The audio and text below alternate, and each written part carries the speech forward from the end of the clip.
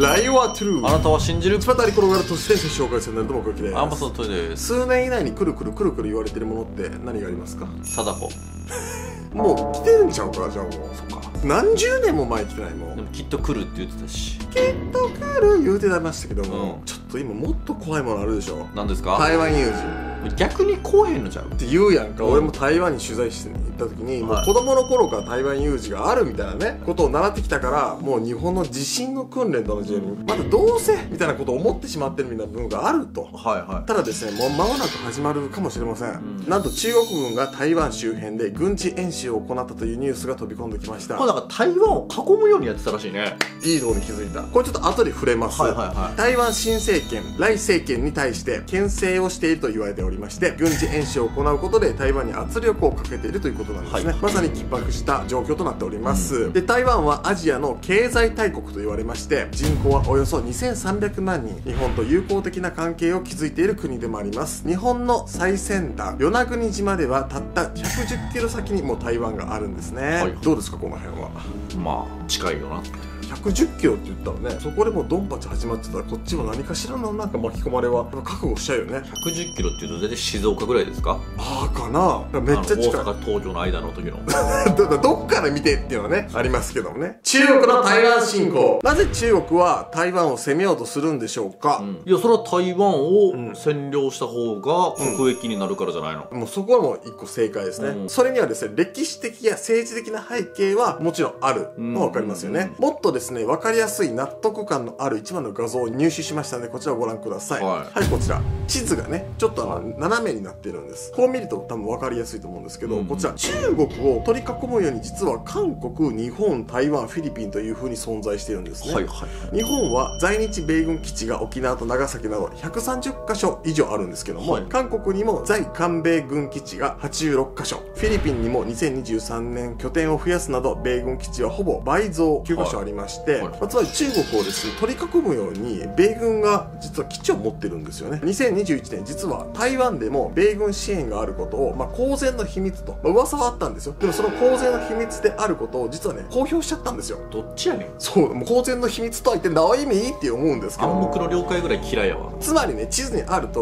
り中国は海からアメリカに包囲されている。言ったらもう太平洋に出れないんですよ。はいはい。そういう状態にあるんですね。第二次世界大戦の際は爆撃するために航空機でわざわざミサイルを持って行って使っていた時代だったわけでで現在はミサイルが発射されればものの数分で目標地点にたどり着いてしまう。これだけ包囲されている以上中国も何らかのまあ対策を行わないといけないと言える状況なわけですよね。だからちょっと近場のとこからもう島を取りに行く、まあ、城を崩していくわけじゃないけれどもちゃんとそこに侵攻したいっていうのはなんとなく軍事的な意味でも分かるよね。っていうのがあります、そうだな。地政学的な話やね。そうね。それも多分結構あると思うんですけども、はいはい今回このテーマを扱うのにあたって、次をこれをね外しちゃいけないんですよ。半導体をめぐる進行。じゃあ戸谷君が言ってくれたように、はい。その取り囲むようにね今地図出てると思うんですけども、軍事演習を行っていた、はい。これね、まあ、言ってみたらワンピースに似てるよね。バスターコールかける時のなんかさ、うん。島を集中包括させるような。あそうね。ただですねよーく見てほしいんですけど、はい。台湾っていう国よくできてるんですよ、うん。東側って結構ね山とかが多くて攻め入られづらいんです東側ねで西側はですね遠浅の海岸があるんで大きい軍艦が攻めてきにくいんですよ、すごい。ということでですね結構完璧な地形の島国だったりもするんですね、じゃあ外からバンバンバンバン大砲って潰したらいいやんとか思うかもしれませんが、はい。それじゃ意味ないんです、はい。それがその半導体が影響するんですね。スマホや家電製品車などのさまざまな機械には半導体が入っているわけですよね、うん。実は台湾って半導体のシェア世界1位誇ってるんですね。らしいね。2024年の世界の半導体市場は前年比16.6%増の6170億ドルに達すると予想、はい。これどんだけすごいかっていうと今1ドルって今いくらぐらいですか？100? 155円ぐらいですね。156円でした今日は。なんと6170億ドル ×156 円は約96兆円になると。ほう。日本の国家予算が110兆円ですからそれに迫るほぼ国家予算ぐらいの市場規模があると、そうなんです。台湾の TSMC って有名な半導体あるんですけども、はいはい。この全工程でシェアを持っているところはその6割の世界シェアを持っていると言われてます。へえ、はい、やばいよね。つまり中国からすると台湾を中国合併することで半導体市場をの力を取りたいっていう狙いもあるんじゃないか。ね。そうだから空襲とかでバンバンバンバンやるとその半導体がもう薄れちゃうという。えでも今半導体不足はさ、うん。あっちの方がコントロールしてるからっていう話を聞くよね、でそれは流通の問題じゃん。ねでそれを取ってしまってより中国がアメリカの言うこと聞いてるうちは半導体渡さへんでってことをやってくるようになるってことでしょ？そうそう。だからそのね取り囲むようなその地図をもう一回見てほしいんやけどもこれね闇深いのは港を封鎖されるんやな流通をストップさせる、ん。だからそこの市場を壊すことなく自分のものにしながらその港の流通をもう抑えれば、っていう狙いが多分あるんだと思うんです。なるほどね。まあ、これはあくまで僕の考察です、はい。中国と台湾の歴史で言いますと1949年まで中華民国では共産党と国民党の二大政党が大きく政治を動かしていましたね。1949年共産党を率いる毛沢東が農民に対して大地主の制度をまっさらにすることを条件に支持を獲得しましたそれはもうたくさんやね。あっという間に勢力を上げ選挙で国民党を圧倒。自由と民主主義を掲げる国民党を率いた蒋介石は台湾へと撤退したようなことを習いましたよね。そうかいそうかい。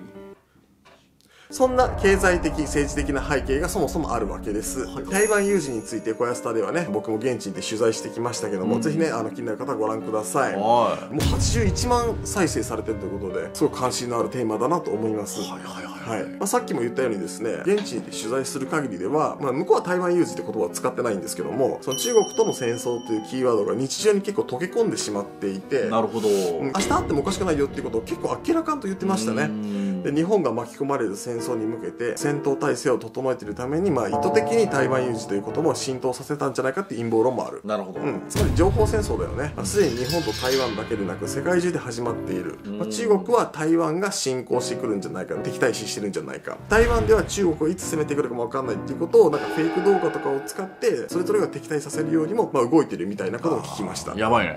軍事演習の活発化。中国による台湾侵攻の演習は2024年にね今最近始まったわけではないんですよね。記憶に新しい2022年の軍事演習や1950年から1995年までの4度の台湾海峡危機と軍事演習を行ってきております、はいロシアとウクライナ戦争でもドローンによる攻撃映像に衝撃を受けた人は多いと思うんですけいやびっどもくりしたよ。ねえ。一方で台湾の演習が注目されていますが実は他の地域でも軍事演習を行っていたと言われているんですね。うーん。5月30日に終了したカンボジア合同演習ゴールデンドラゴン2024えどうしました？暴走族みたいなセンスしてんだと思って。これはなんかあの香港映画かなと。えー、まあそうやね、うん、そういう感じよね。はい、中国は世界に軍事力をねその見せつけたというふうにまあ言われていますけども、えーそうですね。こちら見てください。ロボットの兵力なんですね。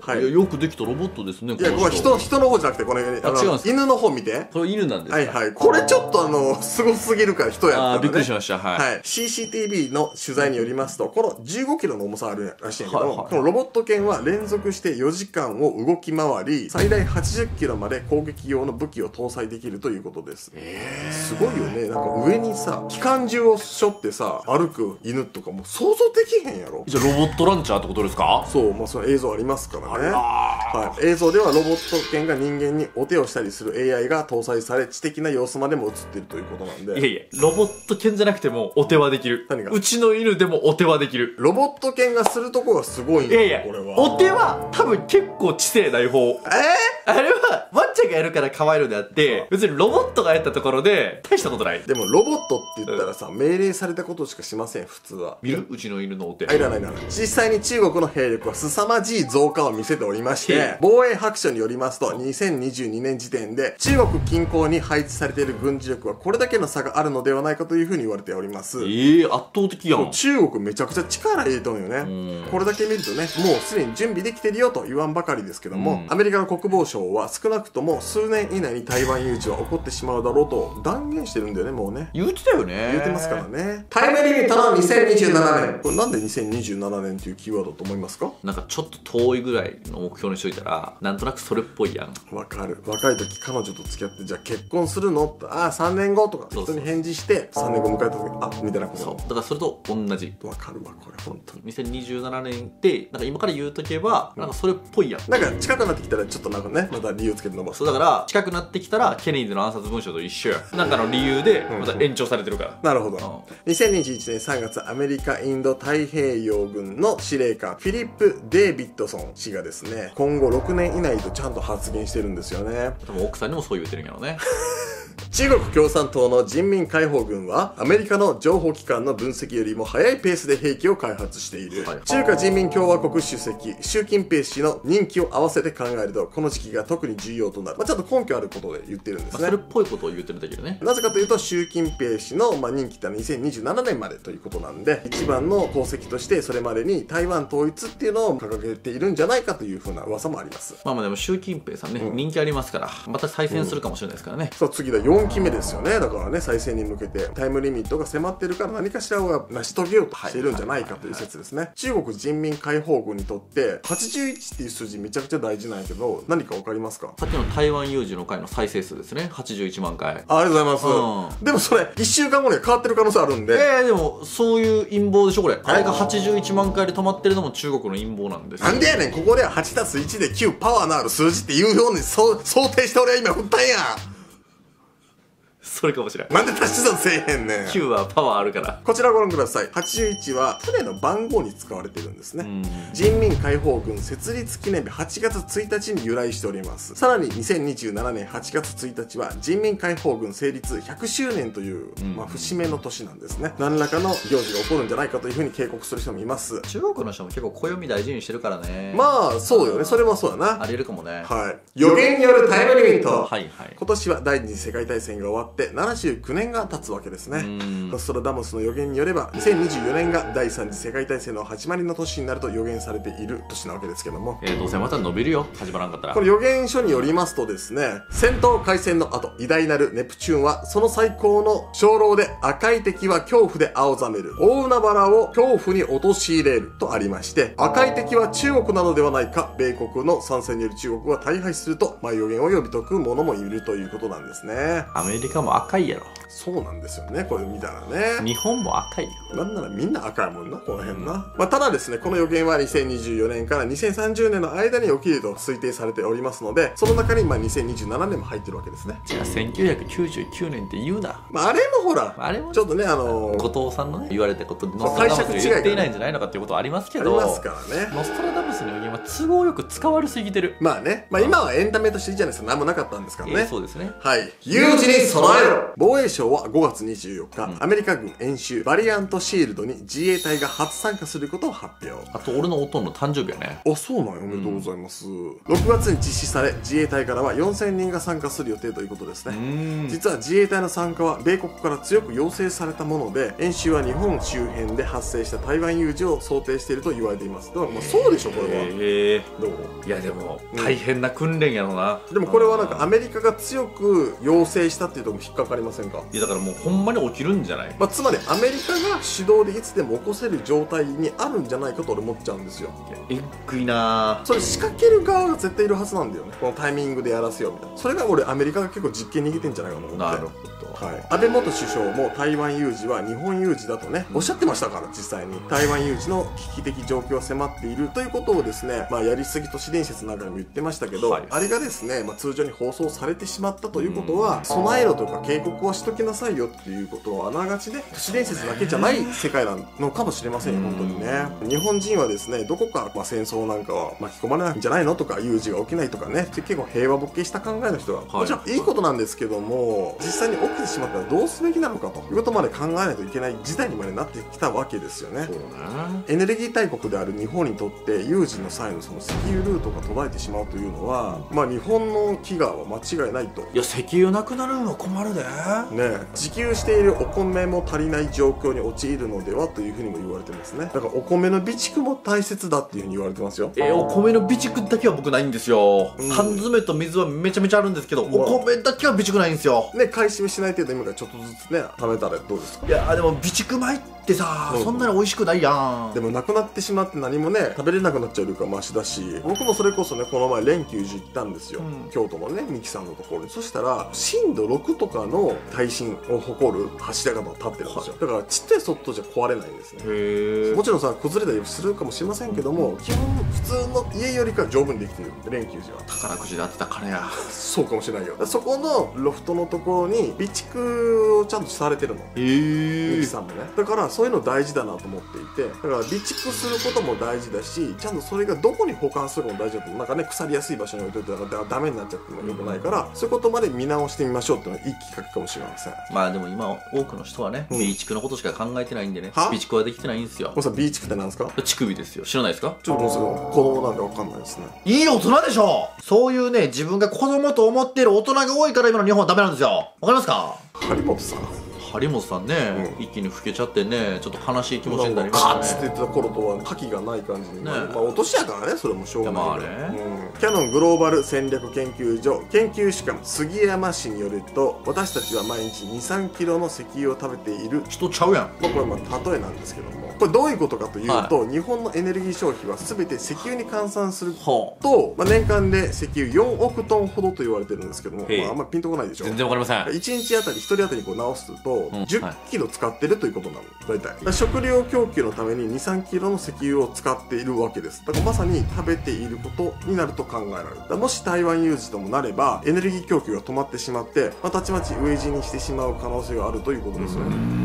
杉山氏の考えでは1年ぐらい生き延びれる方法が必要だと言われております。えそして現在日本の米の備蓄量は100万トンあると言われています。じゃあ大丈夫やこれは国民1人当たり8キロしかないんでちょっと大じゃ丈夫あ全然大丈夫じゃないわ。だよね。だから2週間ぐらいですかね。8キロ？まあどれぐらい必要かというと1人当たり200キロほど必要ということになるのでどうですか？ちょっと倉庫必要なぐらいじゃないですか？備蓄用の。で200キロも置くとこないよ。まあちょっとポケカ整理していただいて。ポケカ整理しても200キロは無理よ。まあ、その他にも内閣府が出している国民保護ポータルでは36ページの有事の際のガイドラインをまとめたものもあります、はこういうものをちゃんと国用意してるからねみんな知らないでしょ。見といた方がいいと思いますこういうのは、はい。機会があったらね要約して分かりやすく説明するから取らせてもらいたいとは思っていますけども。どうですか？ここまでね国が推奨している、うん。具体的にこんだけ必要ですって言ってきてる。もうこれは起こること前提でやってると思いませんか？やばいなね。飯食われへんのだけは嫌やな。俺も人生の楽しみ大部分が飯なんよ。それみんなそうよ。生きるために食べてるのもありますしね。好きな人とコミュニケーション取るためにね美味しいものを食べるっていいじゃないですか。いやそうですよ。これがもうなくなるばかりかもう食べ物すらなくなってしまったらね。いやそれ困るよ。生き抜くことができなくなって諦めちゃったりするじゃないですか。やっぱ人はね。ねあちょっと日本は怖いなって思ってます今。だからちょっとあの台湾を取り囲むような演習を見た時ちょっとゾッとしましたもんね。こいつら本気で台湾取りに行って半導体市場はまず取ると。でそれを皮切りにどんどん進出していってアメリカにねこれ包囲されているものを突破しようとしてるんだなっていうのをわりかし長い時間かけて用意してる気がするんだよね。俺のスイカあげるわえ？中国俺のスイカあげる。いやいや。それで許して。自動改札機取るわけじゃないんですよ。えでも半導体入ってるから。まあ入ってません？入ってるから。抜いてない。でもスイカでは日本来れませんから。スイカ厳しい。スイカではちょっとねあの2万円分までしかチャージできないですねこれね。でもあの2万円分を備えとくことで、うん。僕結構自販機でジュース買えてるんですよ。まあ俺も結構満タンにしとかないと気が済まないタイプ。うん。いまだにあのスイカをスマホでやらないんですよ俺。ちゃんとカードでやるんですよ。俺も俺も。ねえあれ大事だよね。大事よ、うん。だから俺スイカコレクターなんですよちょっと。何スイカこれだから東京駅の何周年の記念のあのデザインのやつとかあれディズニー100周年のやつとか俺持ってんのちゃんと。あれ間もなく使えなくなるらしいよ。あ使えなくなること前提で知ってんのよ。あ知ってるの？でも俺スイカコレクターなんで。そうなのは今度あげるね。夏に畑で取れる方のスイカもいなんでそんな持ってんのよ自分いや買ってくる。あ買ってくんの？って言うの。めっちゃ家の近所のスーパー普通に晒してたやん今。大丈夫ですか？今の心配ですけど。あとあのご当地俺行くんだからチェキ会とか Kitacaとか。そう Kitacaとかね。 SUGOCAみたいの。をご当地で買うのがちょっと個人的に楽しみおいいよね。あれいいよ。備えることが大事まあ、ですそ備えること本当大事ですこれは。まあできることからねちょっとずつやってったらいいと思います、米200キロは無理なんでね。まあでもすぐにね無理でもちょっとずつね買いだめておいて。だってちょっと古くなってきたなと食べたらいいんやから。捨てちゃうことない単位やから。でもね、うん。缶詰ね俺もちょっと忙しくて1年放置しちゃったんですよ、うんうん。そしたらね2割ぐらいの缶詰賞味期限切れてました。え缶詰ってそんな早く切れるんや？だってもう俺だいぶ備えてるもんみんなと違って。缶詰をそうだから缶詰ローテーションを結構作り上げることが大事なんでみんなはねあの備蓄してる人もいると思うんですよちゃんと。でも半年に1回とか、うん。まあ、1年に1回ぐらいはちゃんと確認しとかないと結構有事の時はね、うん。本当に役に立たなかったりもするかもしれないんでね、うん。僕賞味期限ちょっとぐらい切れてるんやったらまあ気にしないんですけど、缶詰の賞味期限切れてるのはちょっと怖いなと思って、まあ怖いね。でも缶詰はさまあわかるんだけどさ、うん。お米って意外じゃない？もともと日本もさ最後の最後までさすごいさ戦争においてさ食いしばったやんか、うん。あれはやっぱお米の力って言われてるよね。そうお米は食べてるから、まあ、元気になれているっていう。い。他の食料だったらもうなんか心折れちゃってたらしい。へー。それぐらいなんかお米にはすごいバランスよく、もう万能みたいなねええええお米が好きな炭治郎みたいなセリフ言ってんなと思って。炭治郎はさあの長男だから心が折れずに頑張れたけどさ、うん。日本人はさ、うん。これは米だから頑張れるんだみたいなパンだったらダメだみたいな感じなん？そうよ。えー、じゃあ GHQ がパン食流行らしたんバリバトえてるやん。そうだから日本を弱体化させるために GHQ が小麦の文化にさせていくって分かるやんそのね。パスタだのねハンバーガーだのね。あとめちゃめちゃ真面目な話、うん。うんあの玄米を白米にしたのはなんか陰謀らしいね。それもあるらしいね、うん。栄養価が高いですからねそうそう。本来は玄米で食べた方が日本人の体にも合ってるし、病気にもなりにくいし、そのミネラルとかも取れるからうん。すごいいいよっていう話なんやけど白米が流行ったことによってそうじゃなくなったよっていう話があるんよね。その白米に合うおかずがたくさん出てきたのももちろんあるんやろうけどね。食を楽しむっていうね昔別に食を楽しむだけじゃなかった。生きていくためのものとしての意味合いが多かったから。だからお米備蓄しとくことすごいやっぱ大事だと思うんで。であとプラスで俺思うんだけどアンカーあるやんか。モバイルバッテのね。そうそう、はい。有名な。アンカーってソーラーも出してるんですよ。へー。そうだ折りたたみとかで、まあ、これぐらいのやつをはい持ってる、まあちょっと高い8万ぐらいするんやけども、これめちゃくちゃいいですよ。アンカーやからすごい性能もいいしそれとかを応用してお米炊けるようにもしとかないといけないじゃん。お米炊けるぐらいの充電量いけるんですか？そうだからちょっとソーラーバカになれへんと思ってるんですよ。それ災害のアンサーやん。あ ぜひぜひ。まあでもねソーラーパネル問題とか思ったり闇深い話だからあのソーラーパネルの闇っていうのは環境を破壊してまでソーラーを作ってることにまずある。だからソーラー自体は悪くないってことよね。そうだから災害の時のためのことをまず考えるとそれはしょうがないやん。だって電気通ってないやからな。そらそうそう。でも今はだからちょっといろんな利権があったりとかそういうことが背景にちらつくから素直にソーラーを受け入れられない人が多いわけでしょ。そらそうよ。だってあの一回火災になったら消火できないっていうふうにも言われてるしそうなんあのバッテリーが爆発するからええあの消火できないんですよ。燃え尽きるまで待たなきゃいけないんですよあれ。えだからバリ危ないやん。危ないんですだから爆弾みたいなもんと言われててえそれを山に設置してるのどうなんって言われるし山燃えるってこと？だからもう木伐採してまでやる必要あんのとか言われますし家の屋根とかねつけてる人もいるけどもソーラーをつけてるだけで消火活動ができないから全焼する可能性もある。ええそういうことも言われているリスクをあんま知らないままなんか推奨されている部分もあるでしょっていう。令和の伊右衛門空が燃えている。本当にしょうもないよ今の。ね。タワレコ来てたみたいですけど。そうだ！うん。ね会えたんやね言ってたらえあ和也義恵会いたかったな。今俺チケットあのファンクラブ先行申し込みしたから。そう行きたいっすね。